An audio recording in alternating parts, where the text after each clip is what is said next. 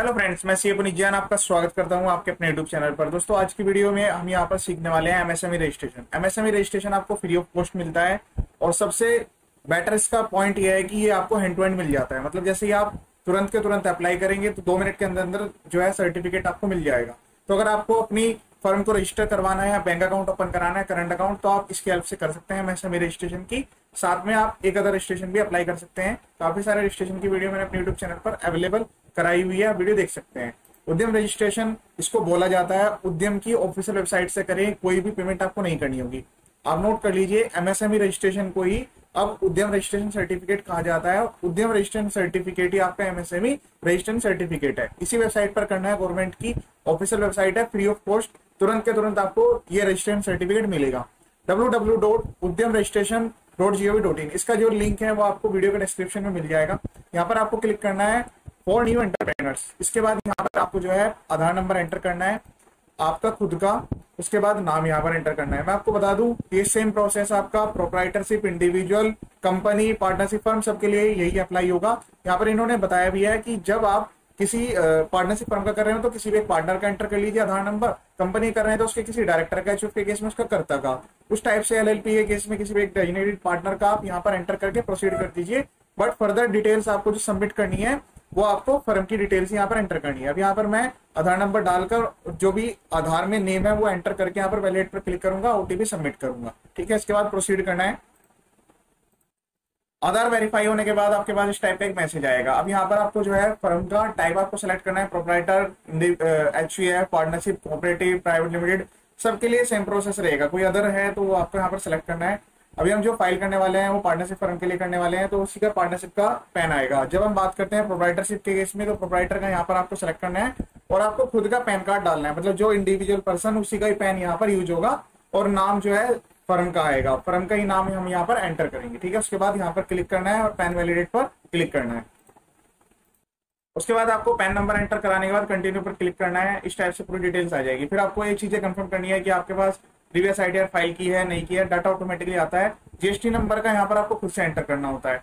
तो आप यहाँ पर यस कर दीजिए। अभी जीएसटी नंबर की मैंडेटरी रिक्वायरमेंट नहीं है। पर यस करेंगे तो डाटा जो है ऑटोमेटिकली कोरिलेट हो जाएगा। अब यहाँ पर जो है ईमेल आईडी मोबाइल नंबर ये एक्टिव वाले देने हैं, क्योंकि जब भी हम सर्टिफिकेट जनरेट करेंगे कोई चेंज करेंगे तो इसी नंबर और इसी ईमेल पर ओटीपी जाएँगे। और ये आप मल्टीपल टाइम्स कितनी बार भी चेंज कर सकते हैं, उसमें कोई भी अटैचमेंट या प्रूफ लगाने की रिक्वायरमेंट नहीं आती है। ठीक है? तो अभी यहाँ पर हम नंबर एक सेलेक्ट कर लेते हैं।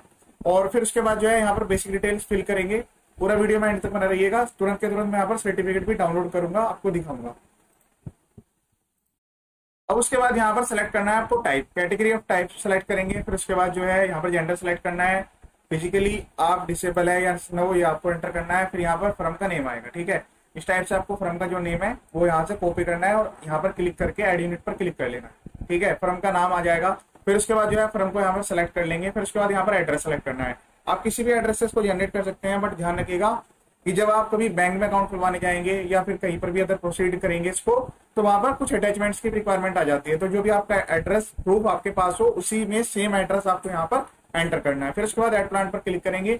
अगर ऑफ़िस का कोई एड्रेस आपको अलग रखना है तो अलग रख सकते हैं। सेम एड्रेस रखना है तो सेम यहाँ पर एड्रेस हम यहाँ पर यूज़ करेंगे। फिर उसके बाद यहाँ पर जैसे हम एड्रेस एड्रेस सेलेक्ट कर लेंगे, यहाँ पर ऑप्शन आएगा गेट लेटीट्यूड एंड लॉन्गिट्यूड ये मैंडेटरी हो गया है। इसमें काफ़ी हद तक ये चेंज आया है, क्योंकि हम यहाँ पर लोकेशन को भी गूगल मैप पर लोकेट किया जा रहा है। लॉन्गिट्यूड लेटीट्यूड पर आपको क्लिक करने के बाद इस टाइप से ऑप्शन आ जाएगा। फिर आपको यहाँ पर जो है, आपकी जो लोकेशन है, वो लोकेट कर देनी है। ठीक है? तो एग्जैक्ट लोकेशन आप यहाँ पर एंटर कर सकते हैं या फिर जो भी आपका नियर बाई एरिया है उसको भी आप सेलेक्ट करेंगे। जैसे मैं यहाँ पर अगर सेलेक्ट कर लेता हूँ तो यहाँ पर जो ऑटोमेटिकली डिटेल्स है वो यहाँ पर आ जाएगी।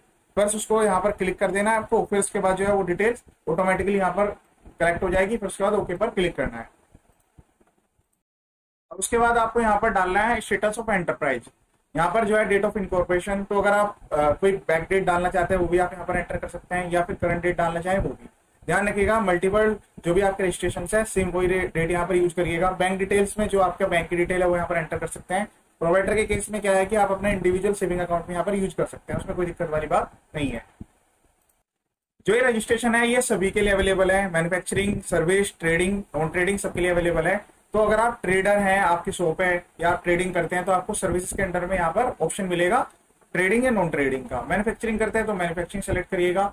उसके अकॉर्डिंग ही सर्टिफिकेट पर डिटेल्स आएगी। तो इस चीज़ का आपको ध्यान रखना है। अब यहाँ पर ट्रेडिंग सेलेक्ट कर रहे हैं हम तो आप अपने अकॉर्डिंग सेलेक्ट करेंगे, फिर उसके बाद एनआईसी कोड का यहाँ पर आपको प्रॉब्लम हो सकती है तो आप आपका जो भी प्रोडक्ट या सर्विस है, वो आप यहाँ पर सर्च करेंगे, ठीक है?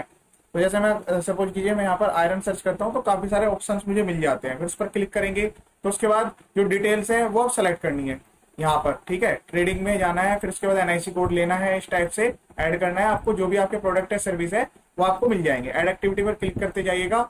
मल्टीपल्स आप जितनी भी एक्टिविटी है वो ऐड कर सकते हैं, पर ज़्यादा भी ऐड मत करिएगा, वरना फ्यूचर में जब आप इसको यूज़ करेंगे तो आपको प्रॉब्लम हो सकती है, ठीक है? तो जो भी आपका करेक्ट नेचर ऑफ़ बिज़नेस है, वो आपको यहाँ पर सिलेक्ट करना है।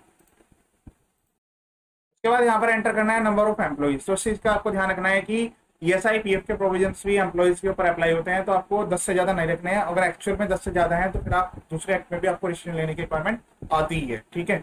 और यहाँ पर डिटेल्स एंटर करने के बाद फिर नेक्स्ट स्टेप में आता है प्लांट ऑफ़ मशीनरी जो भी आपकी डब्ल्यू है, वो आप यहाँ पर लिखेंगे लास्ट फाइनेंशियल ईयर इक्कीस बाईस के लिए भी रिक्वायरमेंट आ रही है, बाईस तेईस की रिक्वायरमेंट नहीं आ रही है। इसी टाइप से ये सारी वैल्यू आपको यहाँ पर एंटर करनी है। टोटल टर्नओवर जो भी थी इक्कीस बाईस की, वो आपको यहाँ पर एंटर कर देनी है। अगर आपकी न्यू फॉर्म है तो सभी सब डिटेल्स यहाँ पर आपको ज़ीरो ज़ीरो एंटर करनी है। अब यहाँ पर आपसे अदर रजिस्ट्रेशन के लिए भी बारे में पूछा जाएगा तो आपको सबको नो कर देना है। मैं आपको बता दूँ, ये रजिस्ट्रेशन सर्टिफिकेट तुरंत ही तुरंत जनरेट हो जाता है। अगर आपने किसी को यस किया है तो अदर पोर्टल पर भी रजिस्ट्रेशन में हो सकता है टाइम लगे। तो सब चीज़ों पर नो कर दीजिएगा। बाद में जो है, आप अलग अलग पोर्टल पर जाकर रजिस्ट्रेशन कर सकते हैं। ये वाला रजिस्ट्रेशन काफ़ी आसान है और सिंपल सा है। उसके बाद सबमिट एंड जनरेट ओटीपी पर क्लिक करना है। और जो फाइनल ओटीपी है, वो आपके पास आ जाएगा। आधार रजिस्टर्ड वाले नंबर पे ही वेरीफाई करना है। तुरंत के तुरंत यहाँ पर एमएसएमई रजिस्ट्रेशन जनरेट हो जाएगा। उसको सेव करके रख लेना है। फिर सर्टिफिकेट भी अभी के अभी यहाँ पर डाउनलोड करेंगे। तो ये आपका एमएसएमई का रजिस्ट्रेशन जनरेट हो चुका है, इसमें कंफ्यूज मत होइएगा, यहाँ पर उद्यम लिखा हुआ है, पर है ये एमएसएमई का रजिस्ट्रेशन इसको कॉपी करके आपको अपने पास नोट कर लेना है। इसी के थ्रू यहाँ पर प्रिंट सर्टिफिकेट पर क्लिक करके इसको प्रिंट करेंगे। तो यहाँ पर आपको जो है अपना एमएसएमई नंबर एंटर करना है ईमेल आईडी मोबाइल नंबर जिस पर भी आप टिक करेंगे, वो एंटर करना है मोबाइल नंबर उसके बाद ओटीपी आएगा ओटीपी को वैलिडेट करवाना है। आपका सर्टिफिकेट तुरंत तुरंत यहाँ पर आ जाएगा। डाउनलोड करके आप अपने पास रख लीजिएगा। जैसे ही मैंने सबमिट पर क्लिक किया प्रिंट सर्टिफिकेट का ऑप्शन आ गया है। यहाँ से आप प्रिंट करेंगे तो पीडीएफ में आपके पास सेव हो जाएगा। डायरेक्ट भी आप इसको प्रिंट कर सकते हैं। इसको आप कलर में प्रिंट करके आप लेमिनेट करा के रख लीजिएगा। जहाँ पर भी आपको सबमिट करना है, कर लीजिएगा। देखिए, यहाँ पर जो मैं आपको बता रहा था कैटेगरी टाइप से आती है। मैन्युफैक्चरिंग केस में मैन्युफैक्चरिंग सर्विस के केस में सर्विस और ट्रेडिंग के केस में ट्रेडिंग ठीक है? ये सर्टिफिकेट आपका वन टाइम जनरेट होने के बाद लाइफ टाइम वैलिड है और इसमें कोई भी पोस्टिंग आपको नहीं देनी है। फ्री ऑफ़ कॉस्ट ये सर्टिफिकेट आपको मिल जाता है। और इस रजिस्ट्रेशन सर्टिफिकेट को आप इंडिया में कहीं पर भी यूज़ कर सकते हैं, ये हंड्रेड परसेंट वैलिड है। अब इसमें क्या है कि अगर आपको फर्दर एड्रेस ऐड करने हैं तो आप एड्रेस भी इसमें ऐड कर सकते हैं। इस वीडियो को शेयर ज़रूर कीजिएगा। इसी टाइप के काफ़ी सारे वीडियो मेरे यूट्यूब चैनल पर अवेलेबल हैं। आप वीडियो देखेंगे हंड्रेड परसेंट आपको बेनिफिट मिलेगा।